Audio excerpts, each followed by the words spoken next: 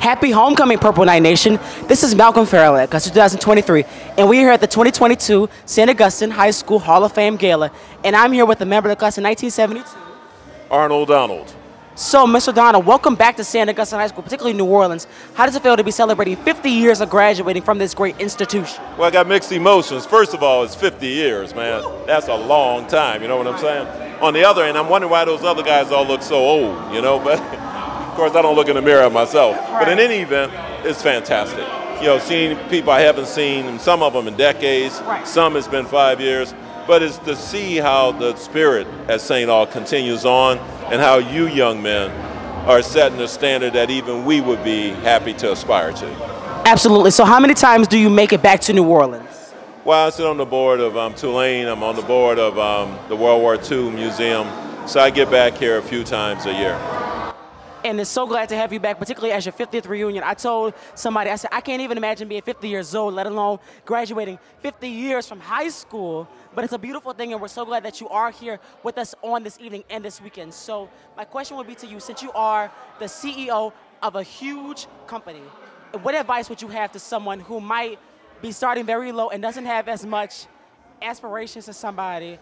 How would you give them great advice on what they should do to get into your spot one day? Look, I think um, you have to find your passion and pursue it, okay? And if you do that, you're going to find all kinds of obstacles. But if it's your passion, you will actually deal with those and it won't be a big deal. If you're not passionate about what you're doing, the obstacles will take you down. First key, be disciplined, no excuses, all the things they teach you at St. Aug. Then this next thing, listen, listen, listen. If you listen to the world, it will reveal itself to you. If you listen to your employees, they'll tell you what you need to do to be successful, to satisfy your customers, um, in our case, our guests at Carnival Corporation.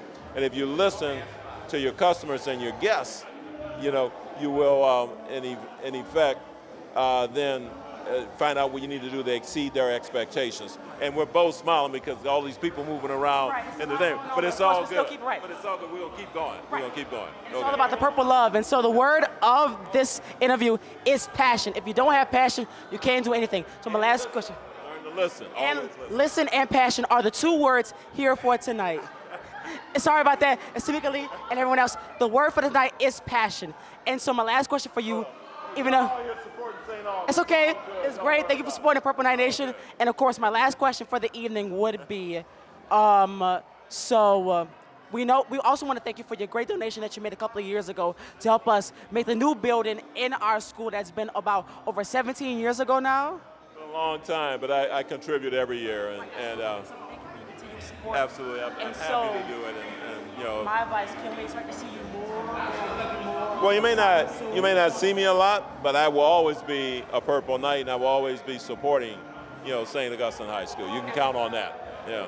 Thank you so much, Mr. Donald, for taking the time to speak with me tonight at this beautiful Hall of Fame gala, which is very busy tonight. But of course, we love it here. The energy is great, and this is only day one. We have the game left, and of course, the mass on Sunday morning. So, reporting from uh, the Fillmore, I'm Malcolm Ferrouillet. Have a great night.